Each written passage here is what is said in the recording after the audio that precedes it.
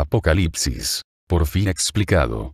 Parte 1. Introducción. El arte de servir. Suscríbete y comparte. Eventos asombrosos estremecerán pronto al mundo entero. Grandes profecías en el libro de Apocalipsis muestran cómo y cuándo ocurrirán estos eventos catastróficos. Este estudio contiene entendimiento vital que cambiará para siempre su perspectiva sobre el futuro. Pero usted debe tener las llaves para abrirlo. Y debe examinar cada escritura citada, junto con la totalidad de Apocalipsis. Este impresionante libro de profecía está abierto, revelado y explicado, por fin.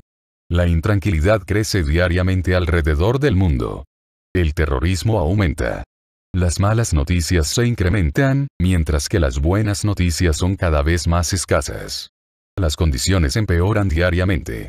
El hombre ha aprovechado el poder del átomo.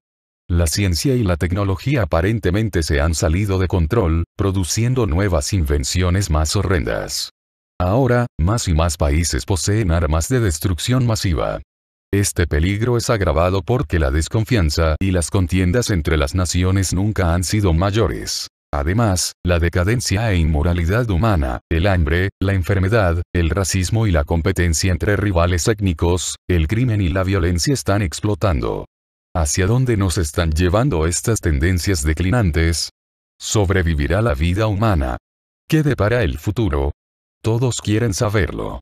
Muchos tienen opiniones, pero pocos reconocen dónde encontrar las respuestas. Otros piensan que entienden las profecías de la Biblia, y esto probablemente es más cierto del libro de Apocalipsis. Sin embargo, todas las interpretaciones humanas populares de ese libro, en el mejor de los casos, rayan en lo ridículo. Estas son un completo revoltijo de ideas donde un poco de verdad es mezclada con mucho error.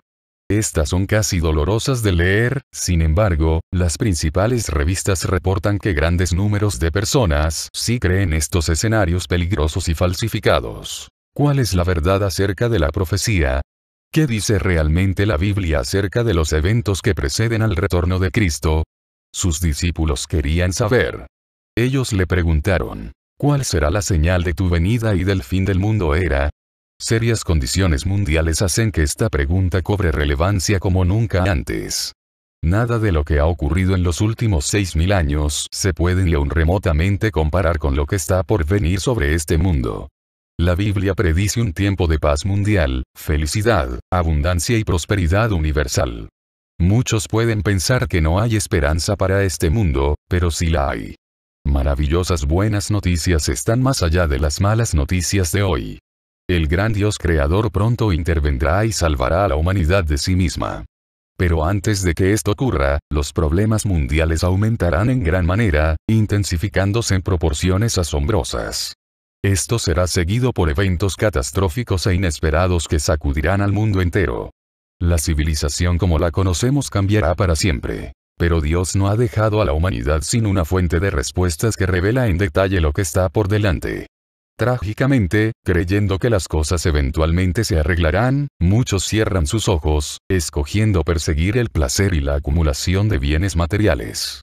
Pero a corto plazo, las cosas no se arreglarán, las condiciones mundiales son, y serán, mucho más serias de lo que la mayoría se imagina. Dios entiende la naturaleza humana y a dónde lleva siempre que se le deja a su suerte. Esto le permite a él conocer y guiar los asombrosos eventos futuros que ocurrirán a partir de ahora. Ha llegado el tiempo de Dios para revelar lo que está por venir.